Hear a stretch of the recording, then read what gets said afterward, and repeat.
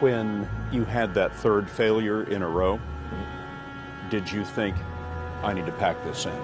Never. Why not? I don't ever give up. I mean, I'd have to be dead or completely incapacitated. People say you, you have to have a lot of passion for what you're doing, and it's totally true. And the reason is, uh, is because it's so hard that if you don't, any rational person would give up. It's really hard, and you have to do it over a sustained period of time. So if you don't love it, if you're not having fun doing it, and you don't really love it, uh, you're going to give up.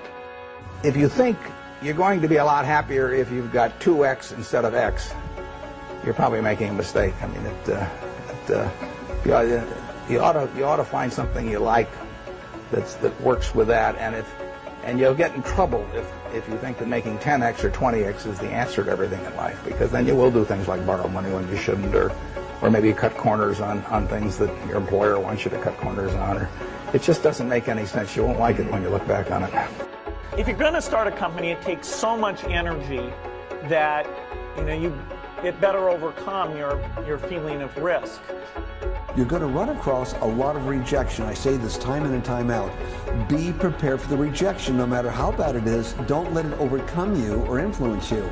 Keep on going towards what you want to do no matter what, no matter whether your bills are paid, not paid, someone says no a thousand times. Again, go back to be as enthusiastic on door number 100 as you were on door number one. You know, I had to convince myself that uh, I'm going to make it you know, regardless of how people felt at the at that time. And what what it does is it makes it makes you feel like, well, it made me feel like um, there's going to be points that people are going to mistake my confidence for arrogance because I've had to. They don't understand the process I went through. Mm-hmm. And how much I had to believe in myself in order to make these things happen. I kind of, I feel like you can will yourself into a good space. Mm-hmm. Things that are meant to happen will, and if you believe in yourself enough, you can help yourself learn.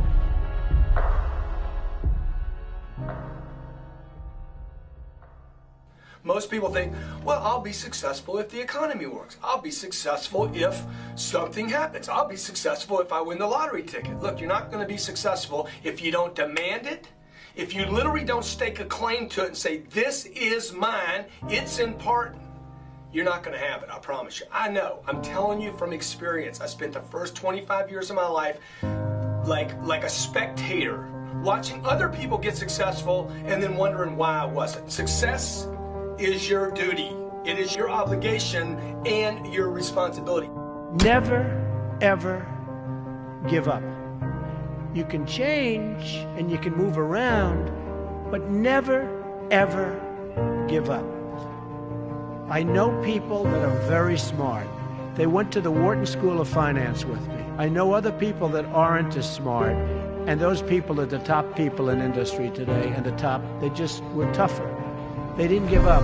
And the smart ones had everything on their plate. They'd always come in with the A plus on the tests and the good boards and everything else. But when they ran into problems, they didn't know how to solve the problems like the guys that weren't as good. And it's very seldom that you see something other than this happen. So never, ever give up. I feel so strongly that the reason I'm here is I dreamed big dreams. I dreamed the kind of dreams that other people said would not be possible. I'm also living proof. This isn't a Hollywood movie. I come literally from the other side of the tracks. If you saw where I grew up and we took a picture of it, the neighborhood, the setting, you'd say it's not, it's impossible that someone could come from there and get here. But it is possible. I think being a business owner is the hardest thing to do in this country.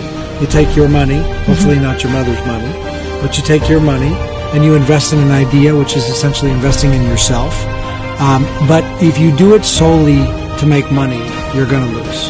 And you really have to do it. And I know that a lot of people out there get up every morning and they hustle, right. and they're driving in the car right now, and they're on their way to a job that they may not love. Yeah. And I would encourage them just to stick to the grind.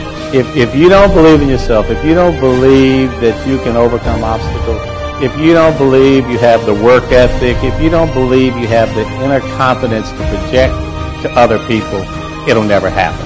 project yourself to age 80 and then think back over your life and, and if you're if you're if you're 80 what are the you want to minimize the number of regrets you have throughout that period of time I'm not going to sit inside of a corporation for 20 years.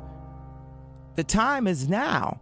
The time is now to express and for people to believe in themselves. The time is now for it to be okay to be great.